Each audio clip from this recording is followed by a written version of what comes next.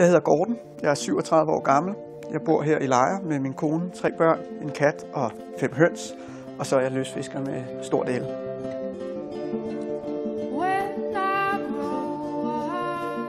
For de fleste mennesker er løsfiskeri noget med at slappe af og noget man gør, når man holder fri. Men for mig er det samtidig mit arbejde, og tankerne og idéerne vælter altid rundt i hovedet på mig. Jeg tænker på fisk hele tiden.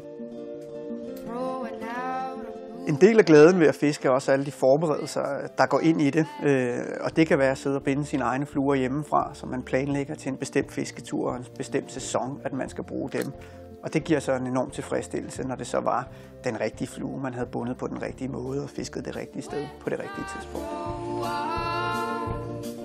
Jeg har altid været fuldstændig vild med at fiske, og øh, gennem mine studier, så skulle alle mine øh, opgaver handle om et eller andet. Så det blev altid film om fisk, og artikler om fisk, og biologiprojekter om mindstemål på fisk, og, og så videre. Og så øh, endte det så med, at øh, jeg arbejdede for et fiskerejseselskab i, i fem år. Så var jeg på et fiskeblad i fem år, og, og nu er jeg så selvstændig og har været det i tre år. Jeg arbejder rigtig meget med et begreb, der hedder bæredygtigt lystfiskeri, som handler om, at øh, løsfiskeriet skal kunne vare mange år fremover. Så jeg er både involveret i aktiviteter med at få børn og unge interesseret i fiskeri, med at lave øh, miljøindsatser og få fokus på gode, sunde fiskebestande og gode vandløb osv. Og så er jeg også involveret i en masse projekter, som øh, sætter fokus på den værdi, det har for, for samfundet. Både i kroner og øre, men, men, men også i forhold til det helt store billede.